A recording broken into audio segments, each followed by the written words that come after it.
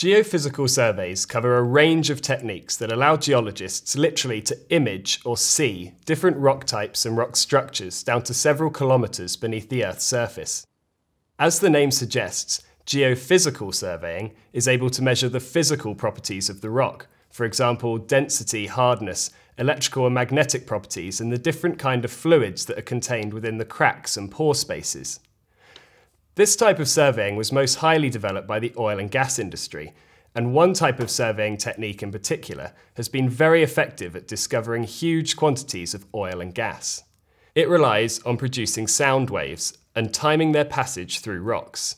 It's known as seismic surveying, and it works in a similar way to the technique that produced these ultrasound scans of babies in the womb. Sound pulses travel through the mother, reflect off the unborn child, and produce the image. Seismic works in exactly the same way, but on a much larger scale.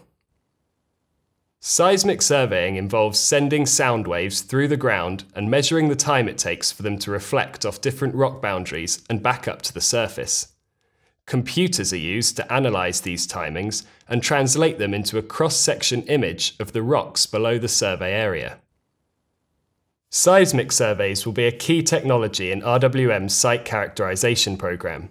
In combination with other geophysical investigations, seismic surveys will allow RWM geologists to map the shape of rocks below the surface between boreholes, to predict the certain characteristics of different rock types, and to identify the presence of faults and fractures deep underground with dimensions of no more than a few metres.